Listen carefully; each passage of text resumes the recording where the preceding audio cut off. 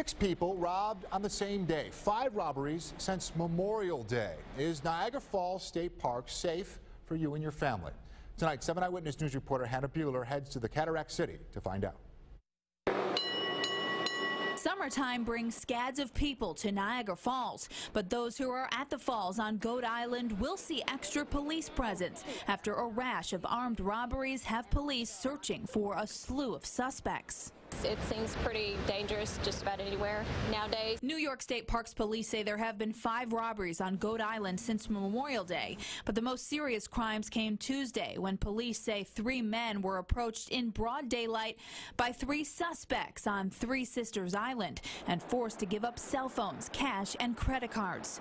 Police say the suspects displayed a gun and then took off. Five hours later, police say they responded to yet another armed robbery, this time on Green Island. Police say four suspects rushed three victims while four more suspects pointed a gun at them. Here on Three Sisters Islands, there are these emergency telephones that are well marked throughout the area.